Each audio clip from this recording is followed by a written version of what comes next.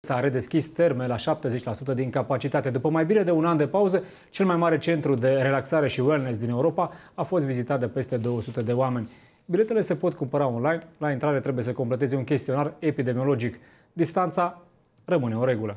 Noi ne-am pregătit în toată această perioadă. Practic, Bine, am efectuat lucrări de întreținere. Ne bucură și ne motivează faptul că oamenilor le-a fost dor de noi. Extrem de dor pentru că asta face parte din mine, pot spune, și mi-a, mi-a, mi lipsit oamenii, clienții noștri și schimbul acela de energie între noi. Foarte, foarte și mai ales de complexul acesta am urmărit de când se deschide. Hai că e superb aici.